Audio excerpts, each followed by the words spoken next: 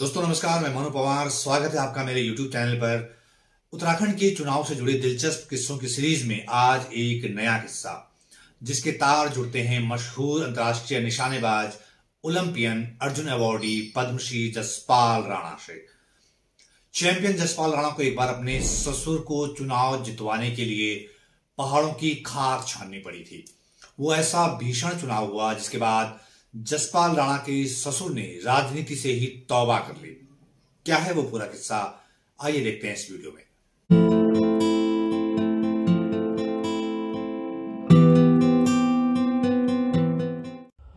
दोस्तों, ये नब्बे के दशक का किस्सा है, जब पूरे देश और दुनिया में शूटर जसपाल राणा की धूम मची हुई थी। उन दिनों चैंपियन निशानेबाज जसपाल राणा देश के हीरो थे। वो उन्नीस सौ चौरानवे में हिरोशिमा में हुए एशियाई खेलों में निशानेबाजी में देश के लिए गोल्ड मेडल ला चुके थे। तब उनकी बड़ी चर्चा हुई थी। इस कामयाबी के लिए तब सरकार ने उन्नीस सौ चौरानवे में उन्हें खेलों के लिए दिए जाने वाला सबसे बड़ा सम्मान अर्जुन अवार्ड दिया था। तब जसपाल राणा महज 18 साल के थे। दो साल बाद, यानी उन्नीस सौ छियानवे में, उन्हें भारत सरकार ने पद्मश्री से नवाजा था। तो उन दिनों पहाड़ में भी जसपाल राणा के बहुत चर्चे थे। हालाँकि उनकी कर्मभूमि दिल्ली थी, लेकिन पहाड़ के लड़के ने दुनिया में डंका बजाया था। इसलिए पहाड़ के लोग भी गर्व से फूले नहीं समा रहे थे। दोस्तों, मुझे ठीक से याद नहीं आ रहा है कि तब शायद जसपाल राणा की सगाई हुई थी या शादी हो गई थी। दिल्ली में उत्तराखंडी मूल के एक बिजनेसमैन हुआ करते थे, आलम सिंह बिस्ट जिनकी की उन दिनों पैरामैक्स इलेक्ट्रॉनिक्स प्राइवेट लिमिटेड नाम नाम से कंपनी थी। उन्हीं की बेटी है रीना बिस्ट वो भी नेशनल लेवल की निशानेबाज रही हैं और उन्हीं से जसपाल राणा की शादी हुई थी।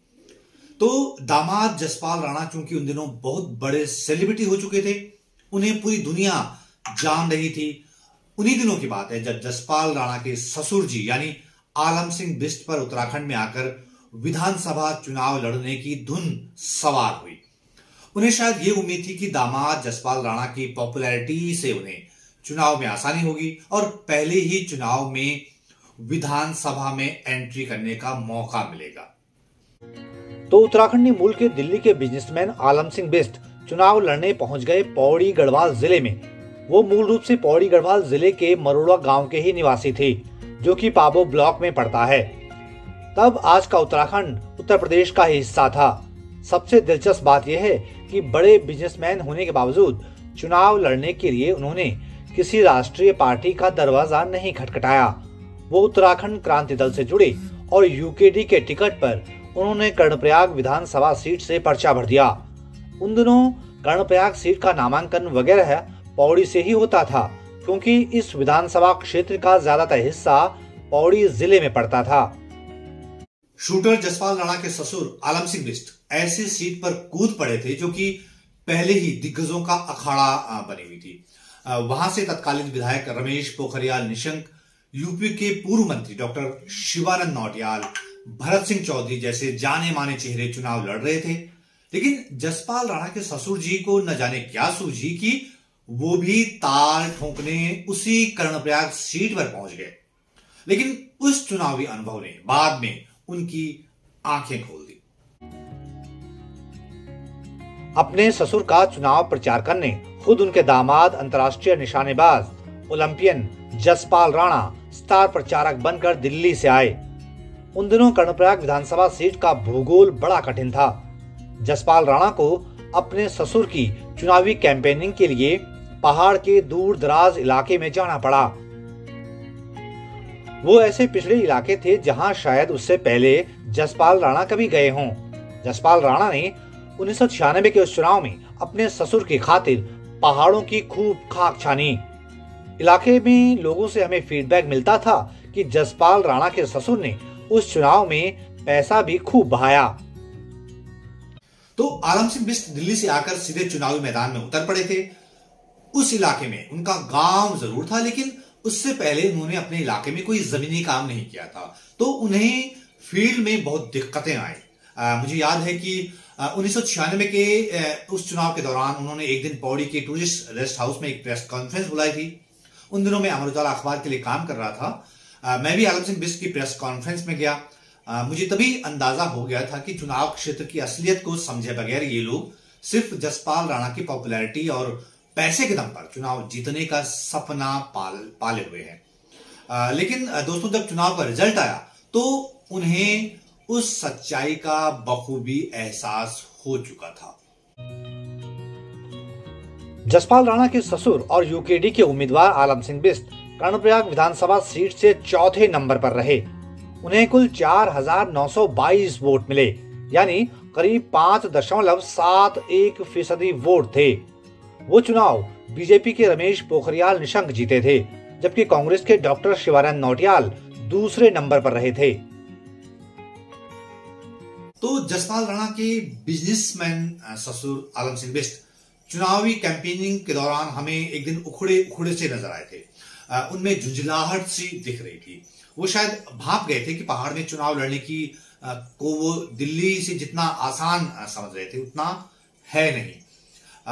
बहरहाल वो चुनाव आलम सिंह बिस्ट के लिए एक बड़ा सबक था और निशानेबाज जसवाल राणा के ससुर आलम सिंह बिस्ट ने उस चुनाव के नतीजे के बाद राजनीति से तौबा कर ली। बाद में उन्होंने अपने गाँव में एक बड़ा घर भी बनाया। इसके बाद कई साल बाद, यानी 20 साल बाद, साल 2016 में उनके बारे में बहुत दुखद खबर मिली कि उन्होंने साउथ दिल्ली में अपने घर में खुदकुशी कर ली। ऐसी खबरें छपी कि शायद बिज़नेस में नुकसान से वो परेशान रहते थे। बाद में स्वर्गीय आलम सिंह बिस्ट के बेटे और जसपाल राणा के साले धीरेन्द्र सिंह बिस्ट भी चुनाव लड़ने उत्तराखंड पहुँचे। ये सन 2017 की बात है। उन्होंने भी अपने पिता की तरह उत्तराखंड क्रांति दल से नाता जोड़ा और 2017 में श्रीनगर सीट से ताल ठोक दी। लेकिन उन्होंने, उन्हें जो है, उस चुनाव में गिनती के 516 वोट मिले जसपाल राणा के सेलिब्रिटी होने का राजनीतिक फ़ायदा ससुर आलम सिंह बिस्ट और साले धीरेन्द्र सिंह बिस्ट को तो नहीं मिल पाया, लेकिन जसपाल राणा के पिता नारायण सिंह राणा को ज़रूर मिला। जब उत्तराखंड नहीं बना था, तब वो गढ़वाल से यूपी के लिए विधान परिषद के सदस्य बनाए गए थे। वो खुशकिस्मत रहे कि उत्तराखंड राज्य के गठन के साल 2000 से साल 2002 तक जो काम चलाऊ सरकार बनी थी, उसमें नारायण सिंह राणा खेल मंत्री बनाए गए थे। पहले अपने ससुर और फिर अपने पिता के लिए कैंपेनिंग करते करते जसपाल राणा को भी राजनीति लुभाने लगी थी और वो एशियन गेम्स के बाद साल 2009 में बीजेपी में शामिल हो गए। साल 2009 में जसपाल राणा को आसानी से बीजेपी का लोकसभा का टिकट मिल भी गया। उन्हें बीजेपी ने टिहरी सीट से लोकसभा का चुनाव लड़ाया, लेकिन कांग्रेस के विजय बोगुणा से वो तिरपन हज़ार वोटों से हार गए। विजय बोगुणा को दो लाख तिरसठ हज़ार वोट मिले, जबकि जसपाल राणा को मिले थे कुल दो लाख दस हज़ार वोट। इसके बाद जसपाल राणा की बीजेपी के साथ पारी लंबी नहीं चली और तीन साल बाद ही, यानी 2012 में जसपाल राणा कांग्रेस में शामिल हो गए थे। दोस्तों, मुझे उम्मीद है कि उत्तराखंड के चुनाव से जुड़े किस्सों की ये मेरी सीरीज़ आपको पसंद आ रही होगी।